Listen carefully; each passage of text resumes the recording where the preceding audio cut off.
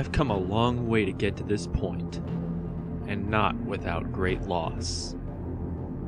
As a young boy on Lothal, my planet was plagued by attacks by the rebel terrorists.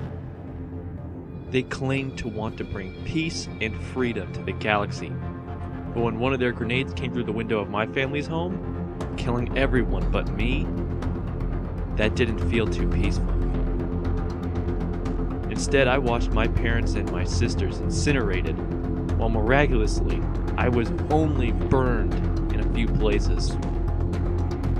The entirety of my life has been solely focused on avenging the family that was taken from me. I enlisted in the Imperial Army and was shipped off to training camp IMIIF Tech 138, an Imperial training facility on Surpar, a literal mud hole.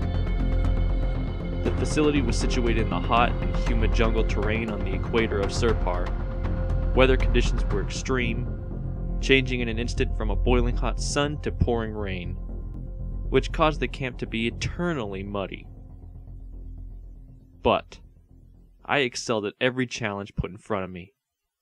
So much so that I was offered a spot in the officer's training course.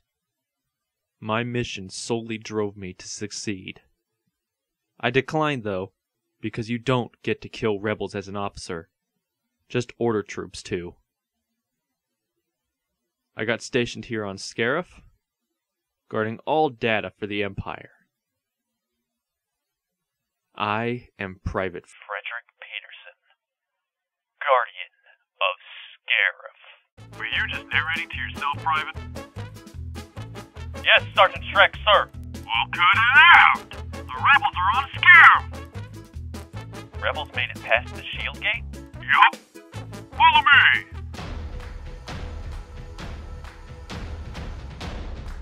Time's up.